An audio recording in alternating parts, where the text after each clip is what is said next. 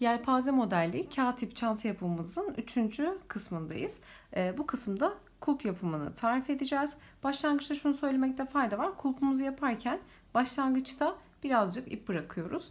Ve e, kulpumuzu bitirdiğimizde de yine birazcık ip bırakıyoruz ki e, kulpumuzu çantamıza monte ederken bu bıraktığımız ipleri bir iğne yardımıyla çantamıza monte edeceğiz. Başlangıçta da bunu söyleyelim.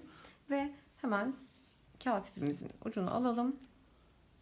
Yine bakın e, dikiş yapacak kadar şöyle bir 20-25 santim kadar bırakıyorum. Halka oluşturup zincir çekmeye başlıyorum. 1 2 3 4 5 6 7 8 Toplamda 8 zincir çekeceğim. 7 sık iğne yapacağım. 8 zincir çektikten sonra 7. zincirime batıyorum. Bir önceki zincire ilmek çıkarıp sık iğne yapıyorum. Batıyorum zincirimin içine ilmek çıkarıp sık iğne yapıyorum. Bu şekilde sık iğne yaparak ben 7 e, sık iğneden oluşturdum bu kulpumu. E, sizler daha büyük yaparsanız eğer 8-10 e, arası da çalışabilirsiniz. Bu istediğiniz büyüklüğe göre değişebilir. Hani kulpun kalınlığına göre. Sayalım bir tekrardan sık iğnelerimizi. 1, 2, 3, 4, 5, 6, 7 tane sık iğne oldu. Bir tane zincir çekiyorum. Son zincirime de battım. Bir tane zincir çekiyorum ve çeviriyorum. Ters kısma geldim. Bakın gelen ilk boşluğa bu noktaya batıyorum. ilmek çıkarıp sık iğne. Bir sonraki boşluğa tersten batıyoruz. Bu şekilde toplamda 8 sıra öreceğim. Şu son noktayı da göstereyim. Sık iğnelerimizi örüyoruz. Yine 7 tane olacak. Artırma ya da eksiltme yapıp yapmadığınızı sayarak da anlayabilirsiniz. Bakın batacağım nokta şurası son nokta. Bu şekilde ikisine de batıyorum. Boşluğumun ilmek çıkarıp sık iğne yapıyorum. Tekrar bir zincir çekip çeviriyorum. Zincirden sonra hemen gelen dibindeki ilk boşluğa batıp sık iğne ve örüyorum. Bu şekilde yine ta ki sıramın sonuna kadar sık iğnelerimi boşluklarıma batarak örmeye devam ediyorum. Son nokta bakın dönüş noktam. Burası. Batıyorum. ilmek çıkarıp sık iğne. Bu noktayı 8 sıra olacak şekilde örüp yükselteceğim. Böyle gidip e, gelerek 8 sıra tamamlayacağım. 8 sıra ördüm. Zincir çekmeden ilk başladığım yani şu sondaki baş, baş, e, bitiş noktası değil başlangıçtaki sık iğnemin tepe boşluğuna batıyorum. Bu noktadan bakın ikiye katlıyorum. ilmek çıkarıyorum. Çıkardım ilmeği diğer ilmeğimden kaydırarak geçiriyorum. Bu noktada hafif ipimi esnetip şuradaki sık iğnenin tepe boşluğuna batıp ilmek çıkarıp sık iğne yapıyorum. Yine sık iğnelerimi 7 tane olacak şekilde devam ettireceğim. 2 3 birleştirme yaptıktan sonra spiral bir şekilde öreceğiz. 3 4 5 6 ve battığım bağlama yaptığım noktada 7. nokta. 7. Şimdi burada bakın sık iğne var. Tepe boşluğuna batıyorum. Ve direkt e, döne döne spiral bir şekilde sık iğnelerimin tepe boşluğuna batacağım. Ve sık iğne yapacağım. Herhangi bir bağlama, gizleme, birleştirme söz konusu değil. Spiral bir şekilde sık iğnelerime batarak bağlamayı yaptık. Bakın bu şekilde döne döne örüyoruz. Batıyorum boşluklarıma. Toplamda burada e, kaç tane başlamışsak bu kulp kısmında da hani o yuvarlak halat kısmında da o kadar sayı olması gerekiyor. Burada 7 yaptık. Yine 7 e, sık iğne ile spiral bir şekilde örüp kulpumuzun şu noktasını oluşturacağız. Eğer siz 8 yaptıysanız burası 8 olacak. 10 yaptıysanız 10 şeklinde devam edecek. E, azaltmaya ya da artırmaya gitmiyoruz. Direkt sayımız ne kadarsa başlangıç sayımız. O şekilde spiral örerek başlangıç ve bitiş noktası e, önemli değil. Bu, e, bu noktada direkt bakın bağlama yaptıktan sonra spiral bir şekilde örerek çıkacağız. Görünüşte başlangıçta bu şekilde.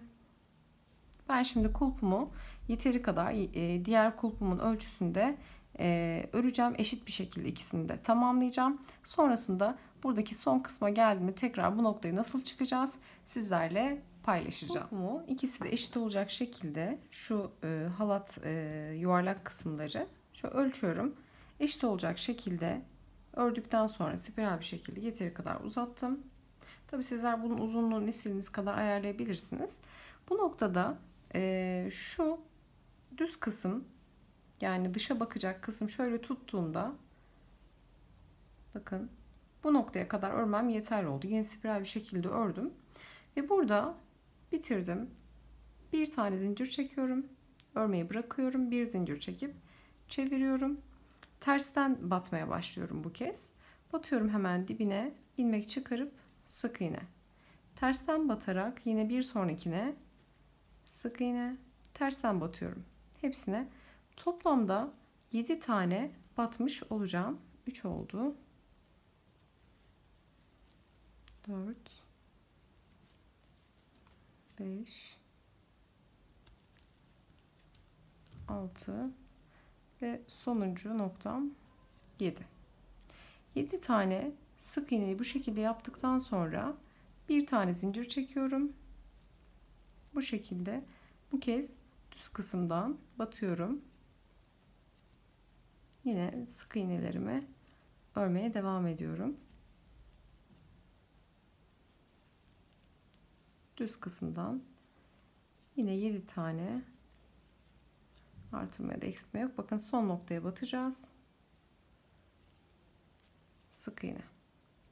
Bir zincir çekip tekrar çeviriyorum. Bakın. Hemen ilkinin dibine batarak başlangıçta yaptığımız tekniğin aynısı. Farklı bir teknik yok. Orada kapama yapmıştık. Bu son kısımda açma yaptık. Ve yine 7 tane sık iğnemizi batarak örmeye devam ediyoruz. Son kısma da battık. Zincir çekip çeviriyoruz. İlk boşluğa batıp 7 tane sık iğnemizi dolduruyoruz. Bu noktada artırma yaparsanız eğer farkında olmadan kulpunuzun başlangıç kısmıyla eşit e, görünmeyecektir. Biri daha büyük, biri daha küçük olacaktır. Eşit yapmakta fayda var. Son noktaya batıyorum. Sık iğne bir zincir ve çeviriyorum. Bu şekilde yine başlangıçta olduğu gibi e, böyle açık bir şekilde 8 sıra öreceğim ve sonrasında artık kulpumu tamamlamış olacağım. 7 sıra ördüm. Bir zincir çektim. Şimdi artık 8. son sıramı tamamlıyorum. Burada sık iğnelerimi örerek artık bitireceğim.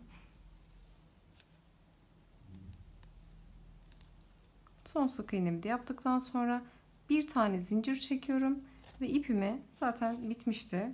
Kağıt ipim bu noktada çıkarıyorum. Bir zincirle bu noktayı sabitlemiş oluyorum. Ve şöyle bu esneme payını da alıyorum. Bakın kulpum bu şekilde e, bitmiş oldu. Artık e, kulplarımızı çantamıza monte edeceğiz iğne yardımıyla. E, monteledikten sonra dikme işlemini gerçekleştireceğiz. Biz şu anda çantamızı ve kulplarımızı bitirdik. Artık monte işlemine geçiyoruz. E, çantamın ağız kısmını bu şekilde ayarlamıştım. Yatırıyorum çantamı. Kulpumun bakın kenardaki ipleri de duruyor. Burada e, nereye takacağımı belirliyorum öncelikle. Çantamın şöyle dörder parmak yaklaşık 4-5 parmak kadar bırakıp bunu göz kararı ayarlıyorum. Şöyle denk gelecek şekilde. Bu şekilde bakın şu bittiği noktadan bu kısmı e, geniş ördüğüm kısmı tamamen çantaya monte edecek şekilde ayarlıyorum. Ve burada bir iğne yardımıyla bunu buraya sabitliyorum.